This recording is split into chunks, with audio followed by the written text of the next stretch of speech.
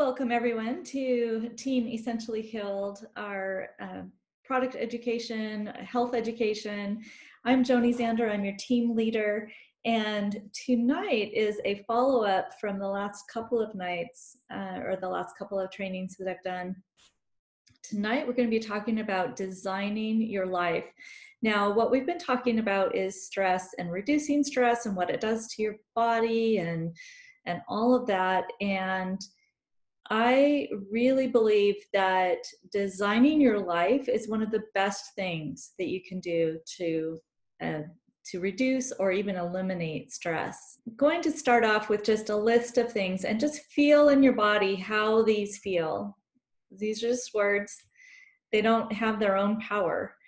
Uh, laundry, shopping, cooking, dishes commuting, mortgage, insurance, and work. What are your reactions like in your body to the items on that list? So, do those words that I just listed, do they feel like have tos? Do some of them feel like a life sentence? Do some of them feel like drudgery? What if I told you that the first step to designing your life is to change your perception of the things that you have to do? So, back when my girls were little, I learned about a crazy idea called radical unschooling. I'm not going to go into the unschooling part here. And if that's something that you want to learn more about, just let me know privately and I'd be happy to, to explain that to you. What I want to share about is the radical living part what I learned from this educational and life philosophy is that we always have the choice to change how we feel about something, and we always have the choice to live differently. I eliminated have to from my internal and external voc- vocabulary. And I don't know, some of you know me better than others. I don't know if you've ever noticed that. Uh, and here's how that works for me. So I focus on the thing that I want say clean clothes. I get to do laundry because I enjoy having clean clothes. Same with making my bed. I feel like it's a form of self love to make my bed in the morning because I really enjoy getting into a nicely made bed at night. So, what about shopping? So, I know I'm weird in this. I've always loved shopping for groceries. I also know that a lot of people don't enjoy that. So, a reframing of that is do you enjoy having fresh ingredients? Or maybe you could get to where you enjoy the process of picking out the best ingredients. Um, another idea would be maybe you could get to know one of the people who work at your local market and start to get to know them. Uh, my cousin actually has been doing this for a year or so now just asking about their family or what they do outside of work and then asking about maybe their weekend or what have you as a follow up. And just every time he goes to the store, he seeks out that one employee that he's trying to get to know. Not only does that make your trip to the store more enjoyable if you enjoy reaching out to people, but it makes their shift better as well. So it makes their job better. And everyone wants to be seen. And, you know, people like grocery store clerks generally aren't people who people see, right? The people that you generally uh, ignore. So, um, so that's um, just a simple idea about making shopping easier or more enjoyable. What about cooking? So you can choose to love it, you can choose to hate it, uh, you can even choose to avoid it altogether, but that gets expensive and it's not as healthy what can you do to choose to enjoy it for yourself? So, if you're someone who doesn't enjoy cooking, what is it that you can do to enjoy it? Um, if you live alone, maybe invite a friend to come cook with you or even to just come eat with you. When my girls were little, I did a once a month cooking um, just on my own. And I loved getting so many meals prepped and into my freezer for days that I didn't have enough time. Um, and I know people who do cooperative once a month cooking where everyone makes one or two dishes, but enough servings of it for the whole group, and then they get together and swap prepared meals. So just another just quick idea about how to make cooking maybe a little more enjoyable. I even know people who get together and do the once a month cooking together um, just to make it more fun. I've decided to enjoy cooking because I like having meals of real whole foods. I didn't always enjoy it, but it's something that contributes to my life. So I can love it or I can hate it, but I choose love. When I cook, I really like having a clean kitchen to start off in. So I decided to enjoy washing my dishes. And because water conservation is important to me, I usually do my dishes when I use them so it takes less water. Um, now, there's a real key there in that um, the water conservation being important to me. Part of designing your life is really looking at what your values are or what you value and aligning your life as much to your values as you possibly can. So I think you get the idea of the chore types of things, but what about financial stress? Um, that type of thing. So the mortgages, insurance, taxes, that sort of thing. Um, now, people usually think about taxes as, oh, I have to do my taxes, but it's a choice, right? You can choose to do your taxes. You can choose not to do your taxes. There are consequences to that, you know, penalties or even jail. But it is a choice that you can make. So I choose to do my taxes on time because I don't like paying fines, right? So part of designing your life is knowing or even trusting that you don't have to. So, for example, my youngest uh, decided to go to school in eighth grade. She mentioned to some of the other kids that she didn't have to be there. Um, she had gone from homeschooling to school, and she truly didn't have to be there. And I pretty much told her that every chance I got. Um, that other kids told her that she was lying when in reality it was they who were misinformed. They were told by other people that they had to go to school, that they had to, or they would be dumb. They had to, or they wouldn't be able to get a good job when they grew up. Um, they had to, or their parents would get sent to jail. None of those statements are true, as evidenced by the plethora of grown unschoolers in the world. But these were statements that these kids had been told to get them to go to school every day. So when someone or society tells you that you have to do something, question it look at it. Is someone trying to control you? So, in the case of these kids who were told that they had to go to school, yes, adults were trying to control them to because the parents had to work, so the kids needed to be in school. Um, the school would tell them that they had to be there because they that's how they got their funding, right? So when society is telling you that you have to do something, are they profiting from your actions? So let's take a look at marketing real quick. Most marketing tries to manipulate you into buying something that you don't need or you don't even know was available. Uh, this is great when you have a need and it fills that need, like oils. But the majority of marketing actually makes us feel like we are less than if we don't buy X, Y, or Z, right? So it's that kind of keeping up with the Joneses. Um, our society, because we're in a capitalistic society, runs off of us continuing to want more and more and more. Society tells us that to be successful, you have to get married, buy a house, and have 2.5 kids. But what if that wasn't true? Or what if it isn't true for you? I did all of those things before I questioned anything. In my 30s, I asked, who has made all these decisions? I didn't remember making them, not consciously anyway. I mean, yes, I made all those decisions, but I did so purely because society told me that that was the way.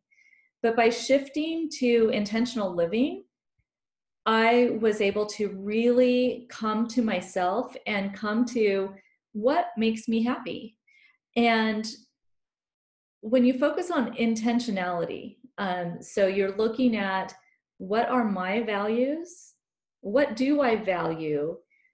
What is going to make me happy? Um, a part of the unschooling that we did is actually allowing the kids to follow their bliss. And a lot of people assume that if you let kids do that, they're just going to do nothing. And that's that can there's nothing farther from the truth. Um, if kids aren't socialized into that whole thing of you have to do this and you have to you know have somebody telling you what to do all the time they're naturally curious. I mean we all are naturally curious unless that is socialized out of us. And so what's going to make you happy is generally going to be best for society as well. So um so if you look at like philanthropy um i don't know about you guys and i'm sure actually i do that helping someone else makes you really happy, right? I mean, that is something that brings you a lot of joy. And so, the more joy that you can bring into your life, the more you're designing your life. Last week, I asked you to just notice, right? To notice what you were doing and whether whether what you were doing was by your choice or was it something that somebody else told you you should do did was anybody able to do that exercise? No okay. I highly recommend it. It is really really great. Um, another piece to that can be looking around your space and asking and, I'm sure you have you guys heard of KonMari, the KonMari method. Um, Marie Kondo, she's uh, her book is the um, the life changing magic of tidying up. She's a um, she's got a new Netflix series on tidying up, and um, people give her a lot of flack. Um, but what she does is she encourages people to take all of their possessions, not all at once. She starts with specific categories. Take those possessions and put them on your floor or on your bed or whatever and just hold each item and ask does this bring me joy? And to release the things that don't. And that's actually how i downsized to go into a van. I now live in less than 100 square feet. I couldn't be happier. I have everything that i need with me all the time and I don't have a lot of extraneous stuff that I'm taking care of, that I'm spending a lot of time with, that I have a lot of upkeep for. Um, I also know where everything I own is at all times. So I can actually find almost anything in my van in the dark because I have only the things that I need. So so think about like if you're if you go into a room in your house and ask yourself, you know, when was the last time I used this? Does this item add to my life? Or am I giving my life to storing it or maintaining it?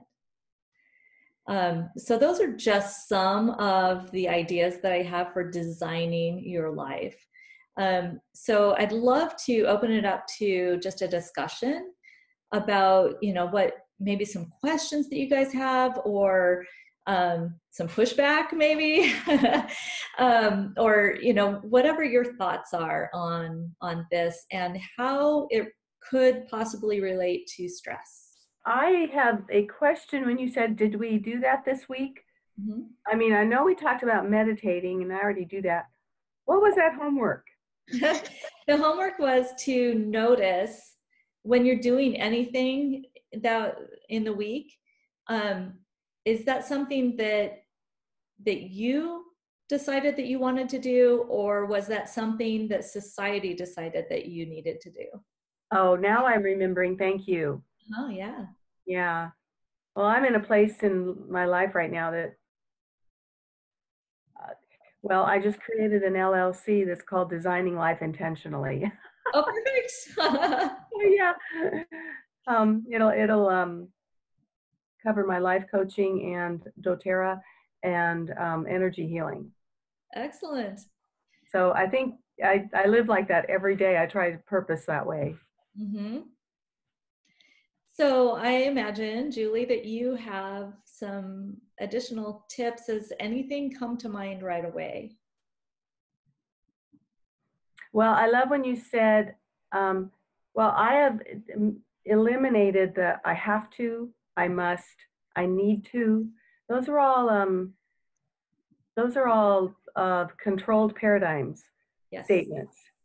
And uh, so I've eliminated I want to, I'd like to, I'm deciding to, yep. I'm deciding not to. Um, no, that's not for me right now. Things like that. Oh man, there's a whole different vibration and energy with that. There is, absolutely. And another, um, so I've been working with a life coach since 2003. And one of the things that um, I, that's actually something I would highly recommend is working with a life coach. Um, I would not be the person I am without having worked with her. Mm. And one of the things that we talk about is shoulding on yourself. Yes. O U L D I N G. So um, just when you put those shoulds on yourself, how does that feel? Mm-mm. As opposed to, oh my gosh, I want to, right? Mm-hmm. That and you know, in Julie's uh, terminology, that vibration is so much higher when you are using the language. Language really does. Language expresses ideas, mm-hmm.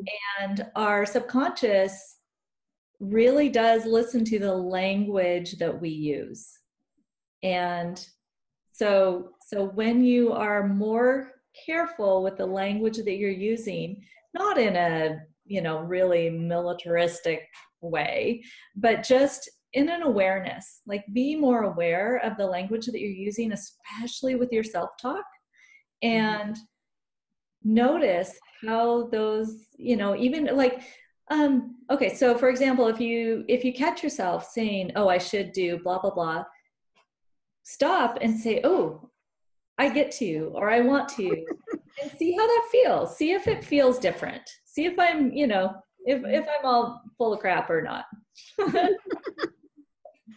Another thing I watch very, very carefully is my I am statements. Mm-hmm. Um, because my subconscious is takes high alert to what I say about, like, you know, I could say I am tired I am getting sick, I am this or whatever. Uh, and I won't say those things. I can be tired, but I won't, I just don't need to speak it.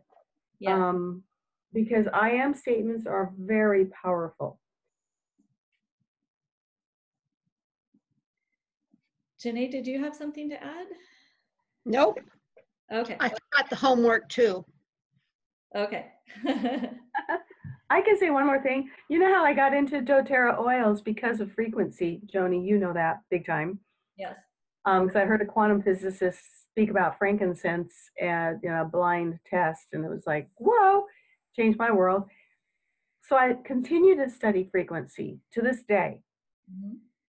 And they have found that a that a grateful attitude with emotion, emotion and intent of gratitude is the same frequency as abundance.